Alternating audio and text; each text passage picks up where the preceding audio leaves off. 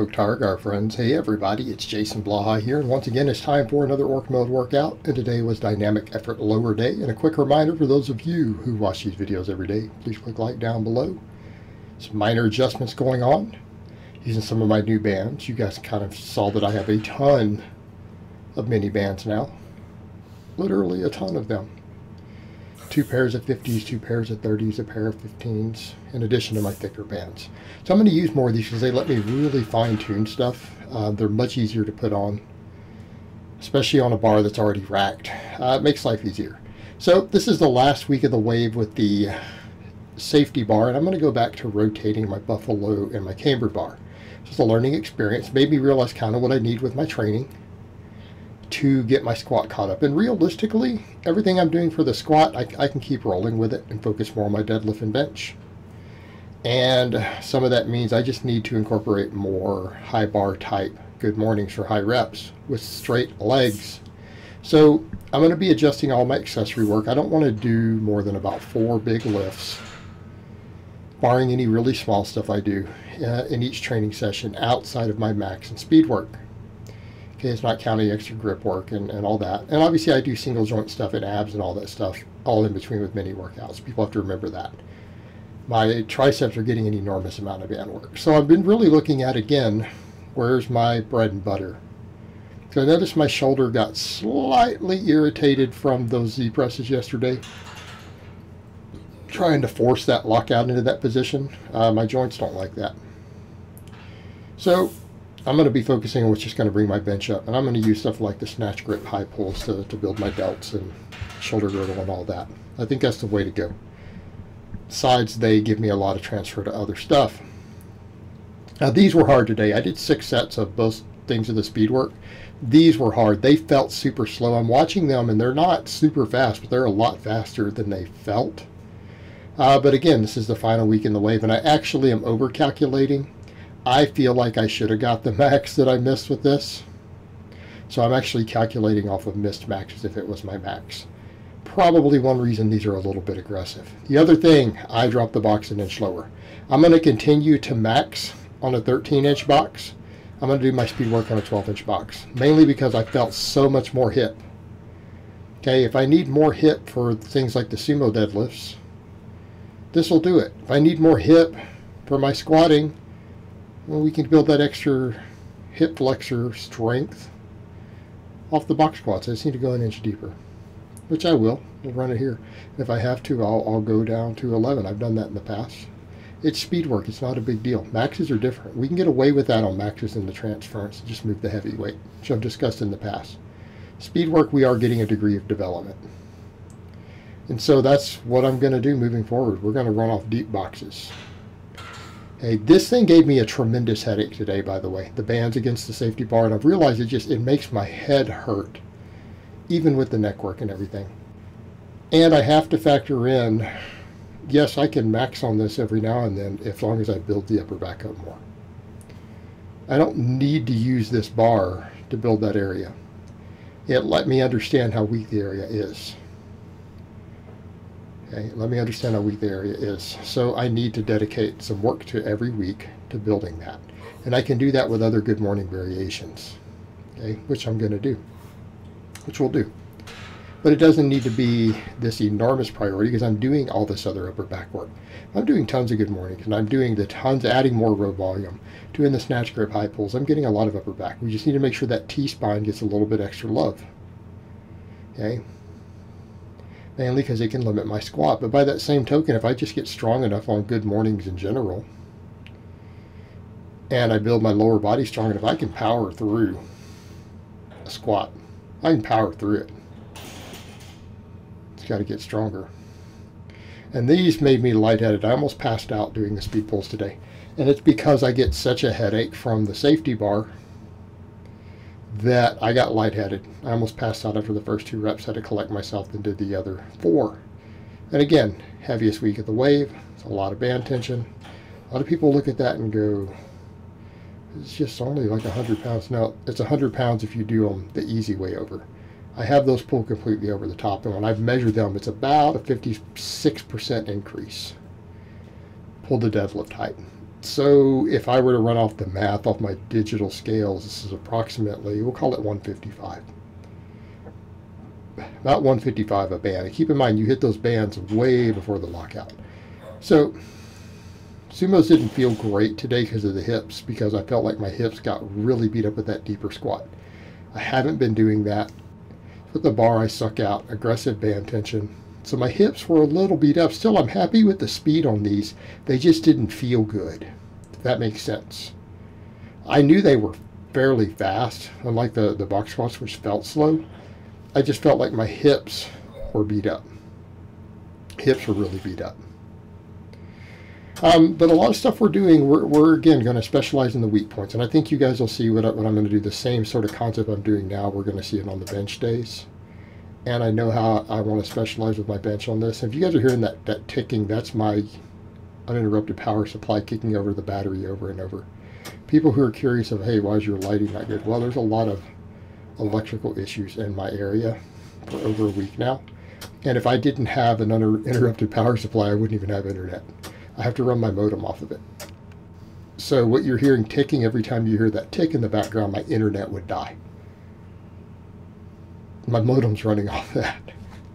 So, and when I'm trying to Skype with that many clients, because again, I've got over 20 clients at this point. My God, I've got to keep that working. Otherwise, I've got to run over to my phone and, you know, use my phone to deal with them rather than my computer. I'd rather do it at my desk. Uh, but grip this lets me test my grip a lot. People are like, what is this, a rack pull? Yes, it is, but it's for grip training. What did I tell you guys years ago with the above the knee rack pull? The only use is a grip training tool. Has no use outside of that. Here we're testing grip, okay? Now I'm going to do five singles, basically of just gripping and holding for time. And I got to go on that I couldn't hold. And it was actually 425. I couldn't hold 4, oh, sorry, 405. Right? I couldn't hold 405 for a double overhand. We got to work on that. We need to get up to that and then higher. And what I've decided, I've been doing all this other grip work, and I'm like, what do we really need to focus on? And I need to clean this bar. I have stuff coming that should be here this weekend to clean the bar.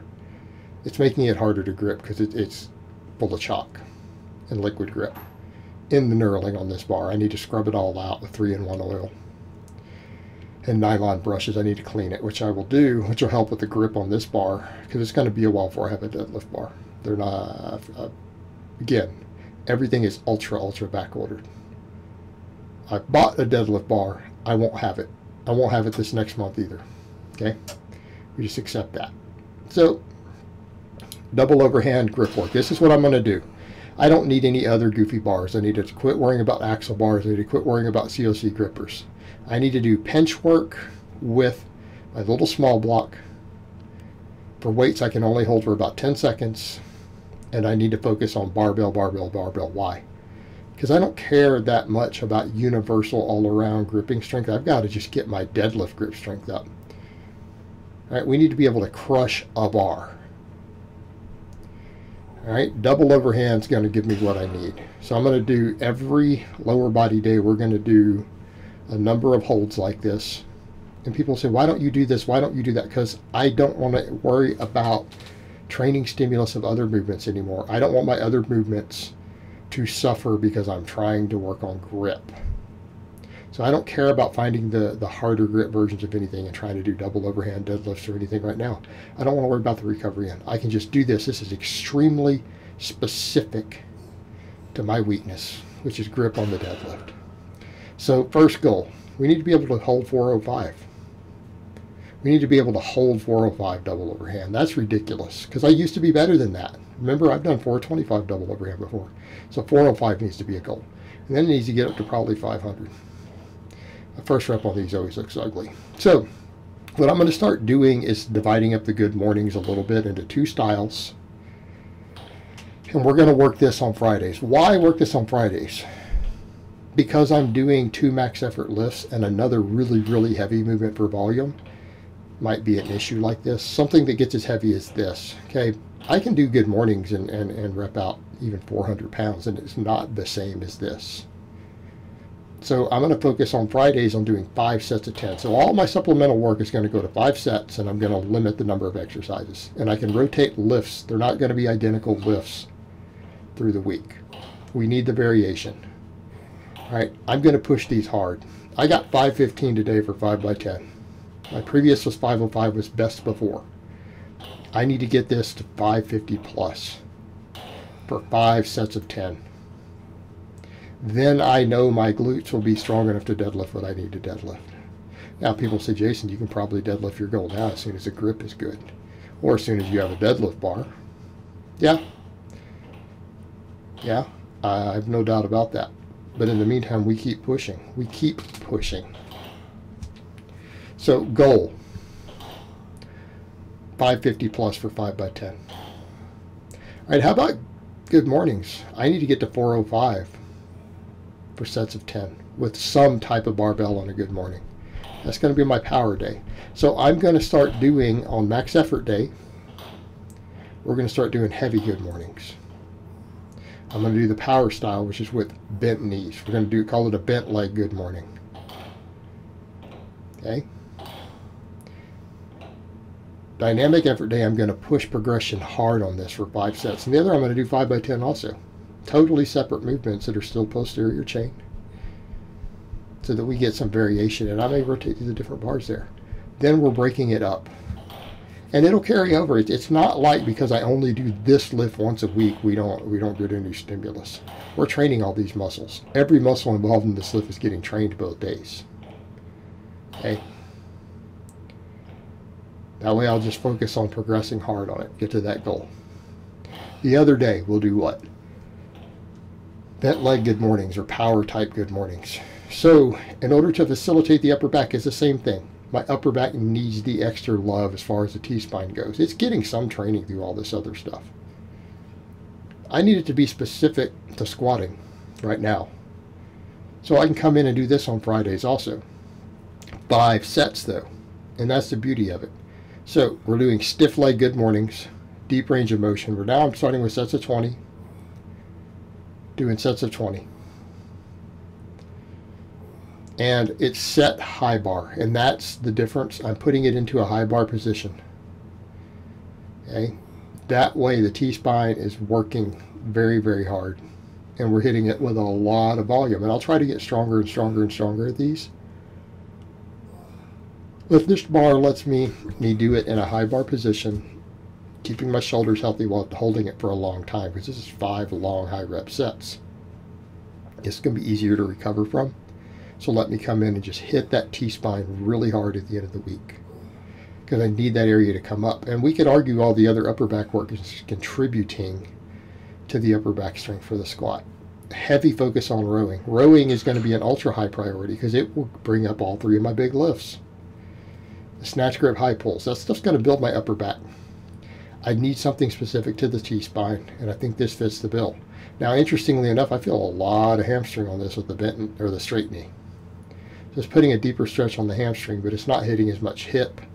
It's not hitting the glutes and the hips and everything else as hard as that other bent knee does. So I have a feeling this is going to carry over better, again, to deadlift strength, which is what I've noticed in the past. The bent knee one really helps with my squatting. But this one helps with the squatting too. Why? because we're hitting that upper back more. But the other ones are still helping with that too. I mean, again, let's come over to the point. If I can do five sets of 10 with 405 on any type of good morning, that is also still contributing to T-spine. This is just a little more specific, hitting it directly. So we'll alternate these. One of them will be treated as a little more as a primary movement because it'll be done as my first big supplemental lift after maxes, but after speed work, we'll do this one after the glute bridges. Because again, we've already hit the posterior chain ultra hard. This is just giving it some good rep work and putting that extra focus on that back. And I felt it. The difference is I felt this without feeling my neck and head hurting. That matters. Matters a lot. Uh, because again, I don't want that annoyance. I think we're now I'm going to alternate the other two bars on the on the speed squats. We're going to focus on getting deeper, that deeper box. And that'll increase my sumo stuff. It'll increase my hip strength. Okay, that's what we got to do. But there's going to be a lot of footage of these because it's five by five sets of 20. So I'm going to have to ramble about them for a bit. Okay, have to ramble about them for a bit. But we're going to see me focus on what we know works. And that's in this case, as far as my lower body lifts, what's that going to be? A lot of good mornings. Two different two different types of good mornings will be done every week on the different days. Glute bridges be done once a week. I will also on the other day because I'm not doing the glute bridges, I'm going to focus on heavy good mornings. I'll work my glute ham raises in on that day. Again, my hamstrings are stupidly strong. I don't have to do the glute ham raise every lower workout. I can focus on balancing the stuff that I need. And if I'm doing a set of three sets of stuff, five sets of everything, we're getting a ton of volume. So I'll be able to hit five sets of three different exercises that hits the posterior chain on both these days. Keeping in mind I will be doing a squat and deadlift both on the max and the speed work. So that's that's a lot of other volume. So three sets of these and then five sets of rows. We'll discuss the rowing in a minute. So the same thing with uh, the upper body days. And I'm actually toying with messing with some strict curls. But again, up against the, the beam strict curls. Same thing, it's going to be, I'm going to put a heavy focus. I don't, I don't need to worry about overhead pressing. I can build my shoulders with those high pulls. And my other just bent close grip pressing and stuff. So we're going to focus on the close grip press. I'm going to run variations of it depending upon where I'm weakest on my max work for any given week. I'll fine tune it based around my specific needs week to week to week. As far as which variations I will hammer, which bar I'll use, how much focus we put on the, the bottom, or getting deeper than normal. Okay. And the speed benching helps too. The speed benching contributes to the benching alone. But it's going to be close grip, close grip, close grip. JM presses. Right? Those are going to be my bread and butter in addition to my max and my speed work. We're going to do snatch grip high pulls and we're going to do Pendlay rows, strict rows on those days. And five sets of every one of those movements. So that's 20 work sets in addition to our standard MEDE templates and then whatever curls or whatever I do. Now, people who say, what's lot tricep dominant? Well, that's hardly the, that's barely what's going on because look at the amount of tricep work I do in between. Um, I do over 20 sets of band press downs every week. That's going to be the other part of it. So I need to build all my pressing muscles to build up close grip pressing, hammer my triceps, and we'll worry about my wide grip if as it comes along. But I feel like I can build pec off of close grip work, particularly when I have access to Buffalo bars, McDonald bar, all that stuff. All right, we can get deep range of motion. I can even use different bars for the speed work. Sorry guys, I've yawned several times. And the same thing here. We're going to focus on what we know we need. Now, again, grip is going to be a high priority. One reason I'm going back to normal Pendlay rows, five sets. And another reason to use bands and chains. They force you to use a heavier weight at the top, the grip element. Grip, grip, grip, grip, grip. But it's all got to be grip against the barbell. We don't care about gripping other things right now. And keep in mind there's always transfer some with everything. But I feel like messing with other gripping, all it's done is beat up my hands, had recovery issues in my hands. I don't feel that my grip is coming along as quick as it should.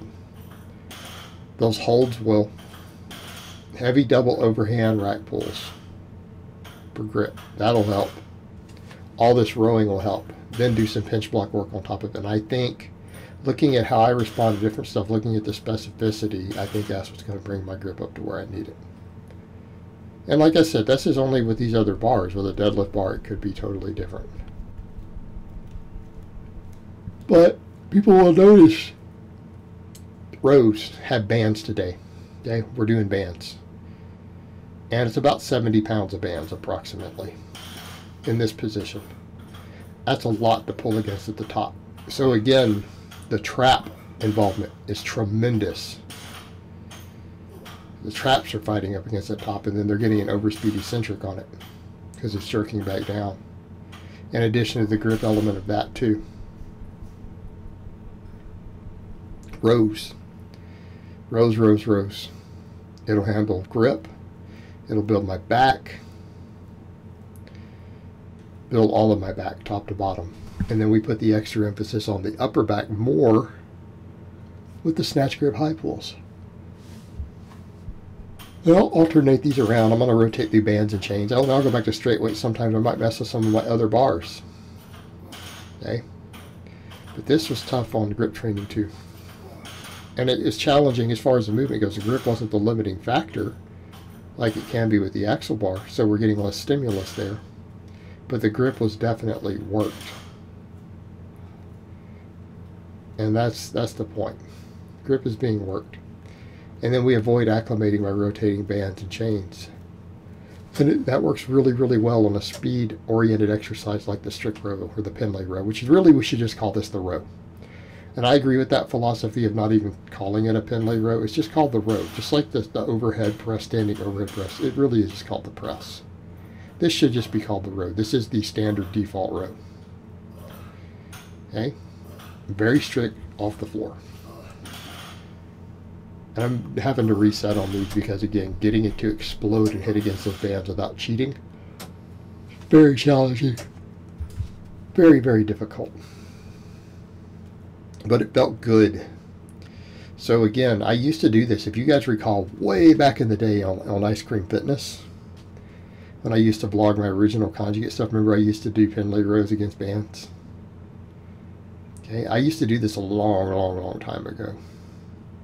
But I mean, we're talking about seven years. I had a jacked bag back then.